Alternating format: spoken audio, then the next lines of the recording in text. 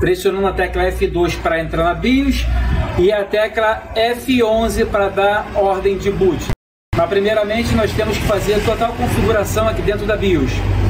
Vamos lá então. Nós vamos aqui ó, na principal, aqui vem as informações, né? Que a placa é, uma versão de UEFI D1800, o tipo de processador Intel Celeron é, J1800 2.4 GHz, a velocidade do processador dele, tá vendo aqui, ó, 2416 MHz, a atualização dele do, do microcódigo, tá aqui, tamanho do cachê de 1 mega, 1, 1, é, 1024 KB, e o total da memória dela instalada aqui, pessoal, 4.000 megas, 4.096 megabytes, significa 4 GB de memória. Então a gente vai aprender da ordem boot a partir de agora. Aqui não mexe nada. Em avançada aqui, esse sistema que está aqui, essa configuração de BIOS, ela está em espanhol. Aqui você não mexe nada. Aqui ferramentas também nada. No monitor vocês não mexem nada, que aqui é temperatura. Esse aqui também não, vocês não mexem nada. E vamos alterar aqui agora, pessoal, uma opção de arranque. Essa opção de arranque aqui, opção número 1, ela vai ter que estar aqui selecionada se tiver assim, vocês clicam aqui, vocês invertam para DVD. Se você estiver para pendrive, vocês selecionam para pendrive. E a segunda opção de arranque sempre a gente deixa por conta do HD.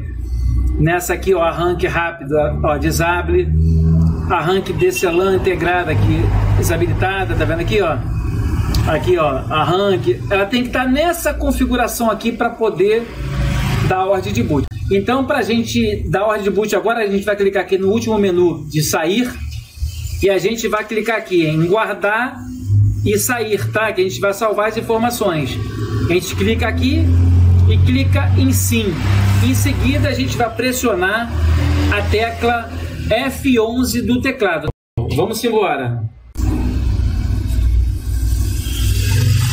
Então tá aí, pessoal, pressionando a tecla F11, ele veio automaticamente para a ordem de boot. A gente vai agora clicar aqui nessa função aqui, ó, o EFI. Tá, vamos dar um clique nela, que automaticamente, ó, agora pressiona o Enter. Pressionando o Enter para confirmar a ordem de boot. Ela tá vindo agora pelo, pelo DVD.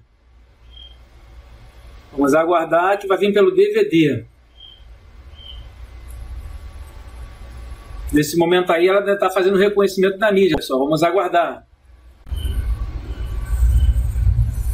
Então, pessoal, a gente vai começar aí com as primeiras configurações para a gente poder instalar Windows 10. A gente vai vir aqui no teclado ou método de entrada.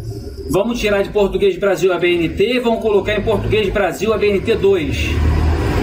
Em seguida, clicar em avançar. Nessa próxima etapa, vamos clicar em instalar agora. Está informando aqui que a instalação está sendo iniciada. Vamos aguardar.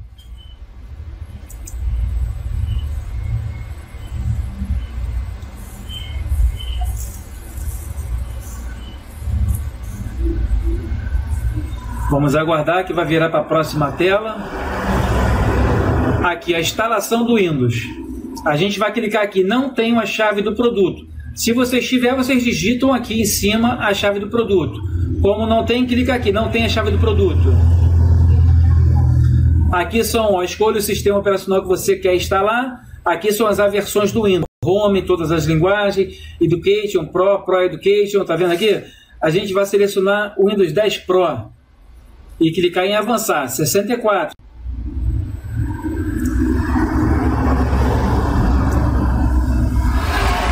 Na próxima aqui, avise termos de licenças aplicáveis.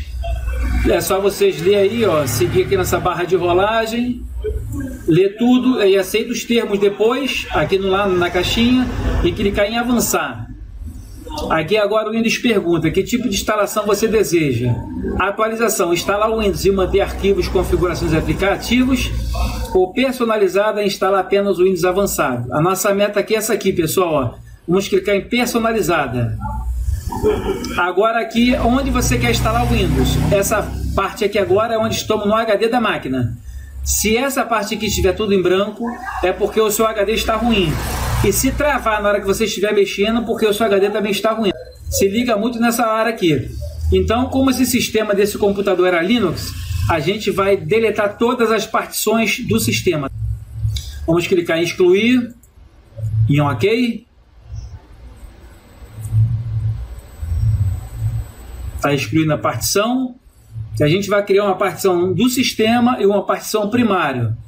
Vamos clicar aqui na segunda e clicar em excluir também. Ó, esse HD está informando que é de 1 tera, 931 GB, é de 1 tera. Nós vamos ter que criar uma partição do sistema e uma partição primária. Como assim? A gente vai clicar aqui em novo, vamos clicar em aplicar e em seguida clicar em OK. Ela vai criar uma partição sistema e uma partição primária.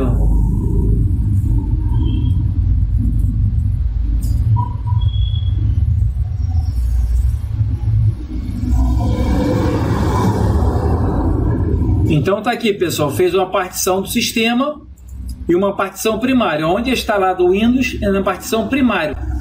E vamos clicar em avançar para poder instalar o Windows dentro do seu HD. Aqui está informando que o Windows está informando os status dele. Copiando os arquivos do Windows, vai passar direto porque não tem nada para copiar. Ele vai passar rápido. Já passou. Agora vai preparando os arquivos para instalação, que vai de 0% até 100% depois ele vai instalando recursos, depois ele vai instalando atualizações, depois vai concluindo.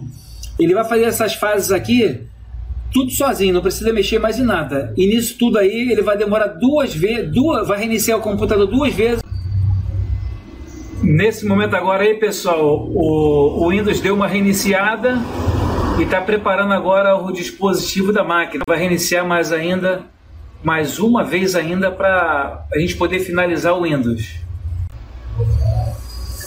Pessoal, então vamos começar a fazer as últimas é, configurações aqui, que já copiou os arquivos do Windows. Ó. Vamos começar com a região. Já está pré-selecionado aqui Brasil, vamos clicar em Sim.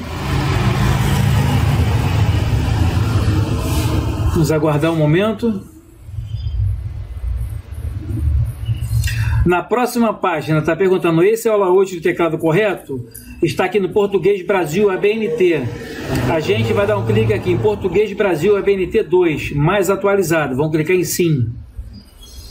Quer adicionar o segundo layout do teclado? Vamos clicar em Pular.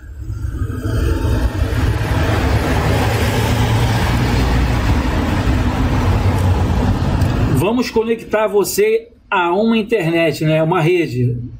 Mesmo que fosse Wi-Fi, a gente nunca conecta na internet, porque senão vai pedir conta de e-mail. Vamos clicar em ignorar por enquanto. Conecte-se agora para economizar tempo mais tarde. Ele está forçando barra para a gente conectar na internet, mas vamos pular fora. Vamos clicar aqui em não.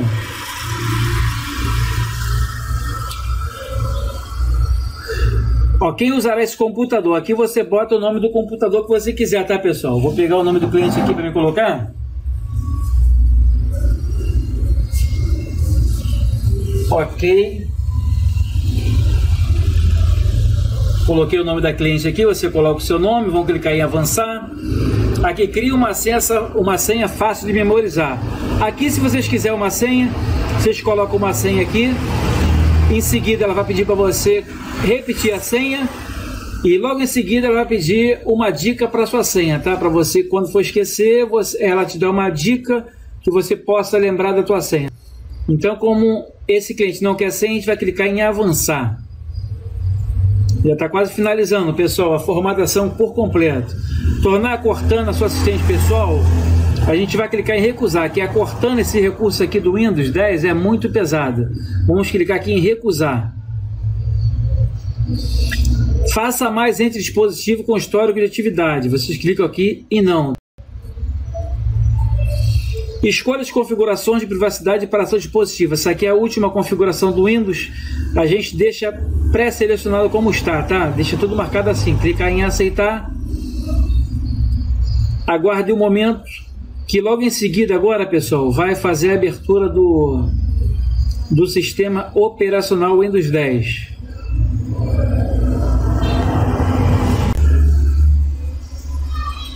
Então tá aí, pessoal, área de trabalho aberta agora do Windows 10.